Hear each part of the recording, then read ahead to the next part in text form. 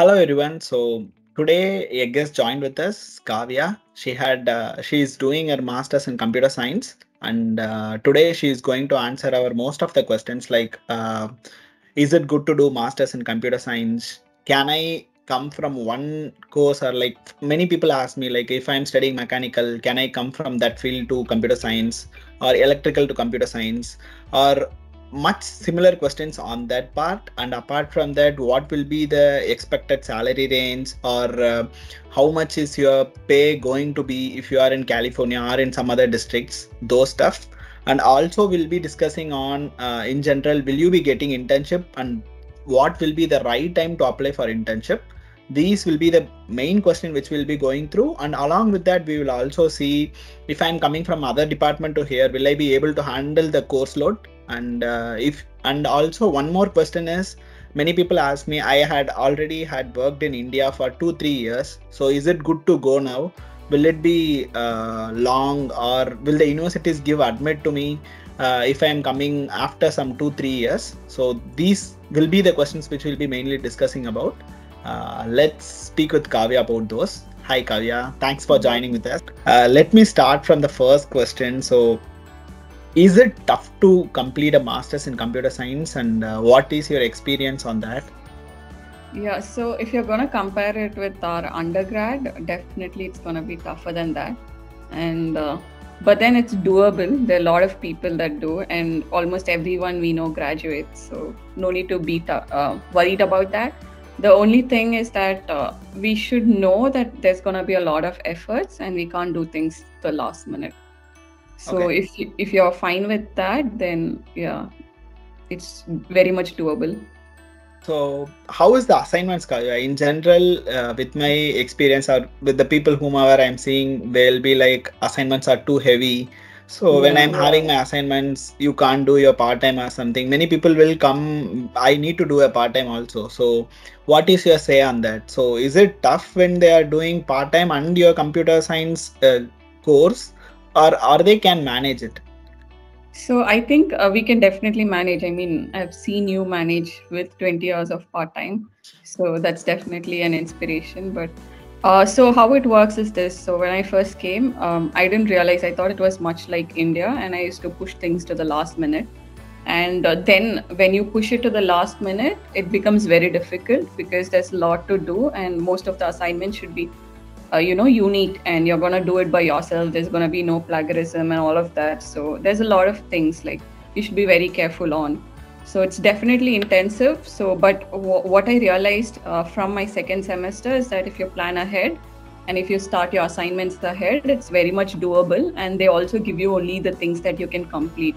I mean there are like 600 700 other others studying with you and they do it. So it's not like we can't but uh, the learning i would say is uh, to not compare this to undergrad in india because uh, then we push it to the last minute. But when we start ahead of time i think we finish ahead of time and uh, people are there to help out. So for every course you take there'll be office hours. If you're stuck okay. in an assignment or something you can ask with the tas or you can even reach out to professor. But all of this you can do only if you start ahead. So i would say that but um, most of the people i know here come on loan and uh, they take care of their living expense by part time so i would say like if everyone can do it so can you. Yeah okay. Got it. Mm-hmm. and uh, uh, along with this question kavya so you mentioned about plagiarism. So is mm-hmm. it uh, they they will be very much looking into that or is it like uh, like india where they won't care much into the assignments and stuff yeah, so this is um I, I remember like back in India there were like assignments, there'll be this one person who does it like sincerely yeah. and yeah, everyone exactly. else like copies it. Um yeah. if you do the same here, you'll be basically sent home or uh, okay. uh, you'll be marked a fail or uh, you know it's a very very um difficult i mean it they they care a lot about uh, honor codes so uh, we we we need to abide by that so the universities are very strict on that so okay. uh, I would suggest to do everything uh, by yourself. Like the mm-hmm. professor will tell you, can maybe discuss like, hey, what could be the possible solutions? But if you're coding it up or if you're writing a paper, that should be your own work. Oh, okay, nice, Kavya. And uh, So coming back from after coming to India, so basically after coming from India, we are going to study a bunch of courses. In Right. meantime, our main goal will be like getting an internship and Right. uh, getting the job at the end. So what is your say on like uh, what will be the good time if a student is coming in August? So what will be the good time to start applying for internship or searching for job? Like uh, let's start with internship, then we'll be Mhm. moving into full time thing. Yeah. Right. Uh, so um, I would suggest this. So uh, I had a really good mentor uh, who helped me out. I mean, his name was Sajid. So he uh, told us to apply from August, and uh, we thought they were like kidding and they were like, you know, just saying that to scare us. But honestly, uh, I interned at Salesforce, and most of my uh, colleagues there who got internship, they had applied in August, and they had an offer in their hand by October, November.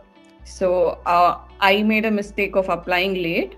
Um, if I were to do something differently, or if I were to suggest you guys, I would say the minute you land, start applying. And for that, um, you know, like resume took a lot of time for me. So I had to, you know, redo it a lot and ask for so many people's opinion. If you have time before coming here, I would suggest start off with your resume, resume back in India. And once your resume is done, August is the right time to apply.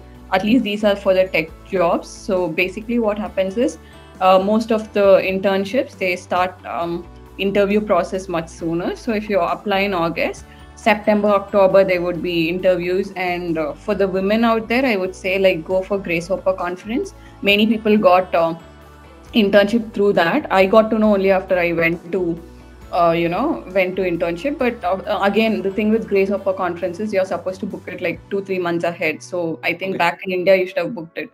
So that's one thing. You can get jobs through that. Many had like multiple offers through that.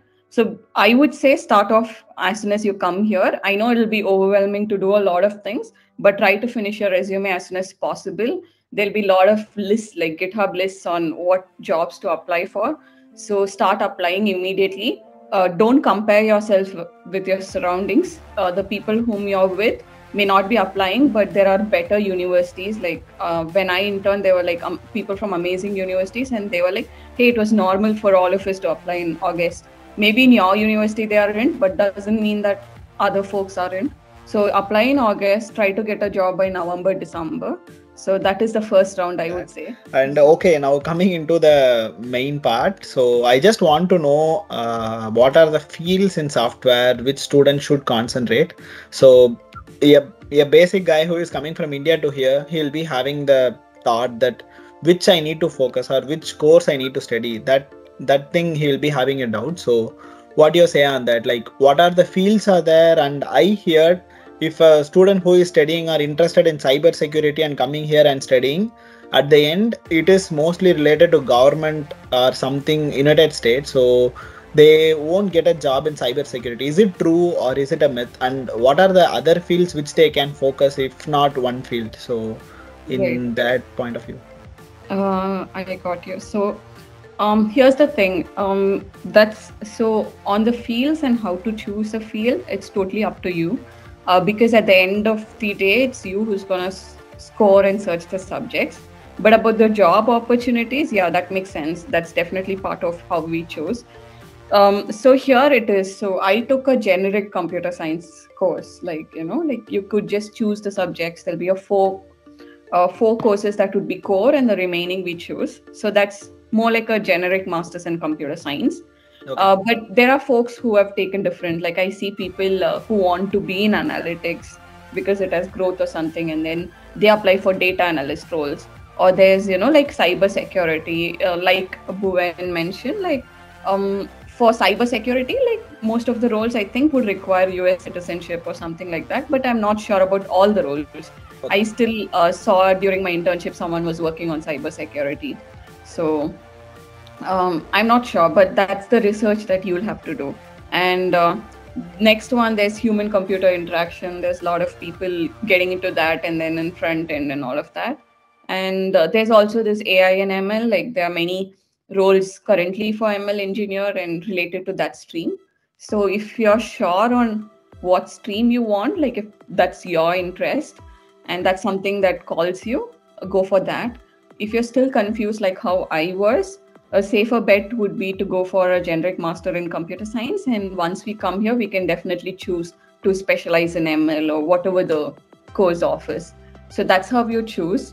And regarding job, there's definitely a generic pool of software developers who work on products and building products and all of that. But if you want to be niche parts, like if you want to be only in ML and all of that, again, you can do a simple LinkedIn search and see how many people work on that, like just to get statistics on uh, software in uh, developer role that is SDE versus you know what is ML engineer role or something like that. But if you're open to anything, I mean, go for MS and CS. Right. Um, so my personal journey is that I worked uh, back in India for four years, and Yeah. then I decided to do masters. And uh, I feel, um, to me, I feel two years is a good uh, place. Like I, if- I, I thought like after two years, it made sense. Like why masters, and you know, I knew what I was looking for, but it's not the same for everyone um, in generic i would say after two years after working at my company i realized oh my god these were all the courses and i didn't know i would be using it so and so um, why did i not study or things like that. So for me like a personal realization was hey if i could go back to university i would have done this better or so and so. But then Yeah. there's an opportunity to, to go back to university and then you know uh, make your skills better and work on those areas that you think like would make you a better professional. So that exposure uh, back in india like adobe gave me like and i saw so many people around me doing good at what they do. And that kind of inspired me to come for masters and uh, so far I, it has definitely helped because uh, in my internship here i can see the difference of preparedness and how uh, i'm able to handle things with my Mhm. experience back in india on how to um, you know ask for tasks or how to be with um, colleagues and you know how to learn and how to progress and so many things that you learn over a job that help me but i would not say that's necessary. You can do masters at any time. Like i've seen people like older than me doing. I've seen people who came right after um, you know undergrad doing. And at the end of the day everyone does it.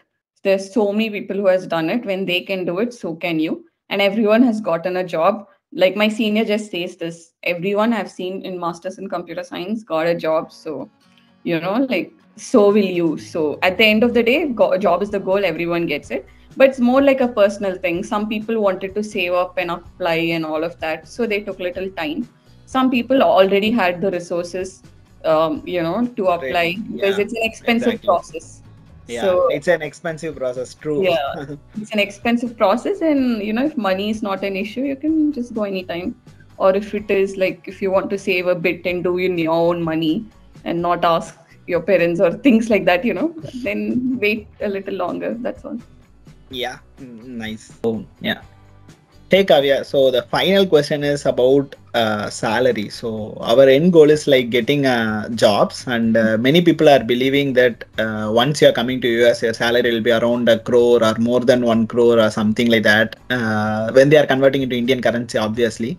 So what is your say on that? Like, let's see, let's leave about the California part. So even because if you are getting a 200k in California, uh, anyway they will be losing their salary of around 35 to 40 percent and uh, let's speak about in general uh, because in california it will be around 180 200 and somewhere it will be around uh, just 80 90 so what will be the mid range which you heard about or which you know from your senior or from the current person who is graduating?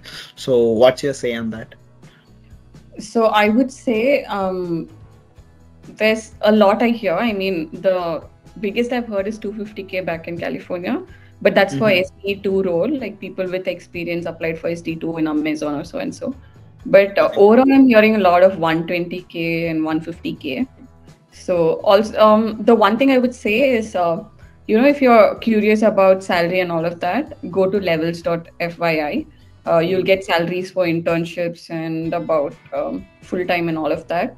Uh, the f- other factors that you need to consider is uh, that's not just like the entire number you should also see the living cost.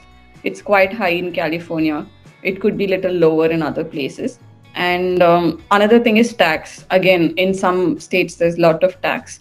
So when you consider all of this i would say like uh, 80 is where it would start 80 90 i think 90 is where it would start and a lot of it averages out at 120 150 something like that. But Okay. uh, if you see in a state like if you're getting in florida and if it is like 120 that's like a very very very good package Very because paid, yeah. the tax That are quite less and the cost of living is quite less. So it depends from place to place. But uh, again i would say what my senior told me don't worry about uh, you know like i mean give your best in jobs and all of that but don't be scared that you wouldn't get because at the end of the day everyone gets a job and uh, we can like pay back our loan or so people say. So let's just like keep working towards you know building better skills and a lot of dedication in applying for jobs and the process um, then everything will definitely come out well Yeah. Mm, Okay, Kavya. These were the common questions which I have and which I uh, saw in the comment section, which lot of people were asking also. And uh, apart from that, uh, if you want to share something out of your experience, you can say like which students should take care when they are coming here, or which you felt if I had done that in India, it would have been easier for me. If you had have anything to say about, you can say, and then uh, that's all my interview is all about. So yeah, Okay, so um, couple of things. I think someone, some folks were asking that they were not from computer science background, but then they want to do masters in computer science and all of that. yeah, So about that, um, you know, my teammate, one of my teammate, he's from uh, electronics background, but he's doing masters in computer science. But I can hardly see a difference because you know he still gives his best and all of that. What I would say is uh, for the ones who are not from CS background but are coming to CS, like try to have uh, you know um, one language. Like try to start uh, looking into one language. Maybe Python is easier or something try learning one language you know try that before you come here and as soon as you come here try to become good in one language and uh, then everything else is hard for everyone anyway so yeah. uh, you know it might take you a little extra step to be there but you can definitely do. I see a lot of people doing that. Um, that's one. And then i would say you know come with a mindset of um, I mean, it's going to be uncomfortable. Um, it's definitely not as easy as back in India because you're in a new environment. But the mindset is um, we shouldn't forget our goal. And uh, the more we remind ourselves why we are here, the easier it gets. Um, Mhm. so I, that's all I think I would say. So, yeah, good luck. yeah. Thank you, thank you, Kavya. Thank you so much. Thank you for your time. Thank you all. Thank you. Thank you, Kavya. Bye.